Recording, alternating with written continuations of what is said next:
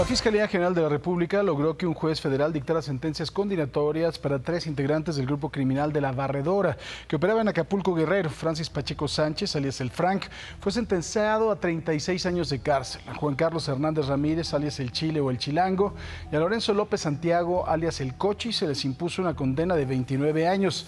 La FGR logró demostrar que tuvieron participación en los delitos de delincuencia organizada, secuestro y portación de armas de fuego de uso exclusivo de las Fuerzas Armadas. Armadas.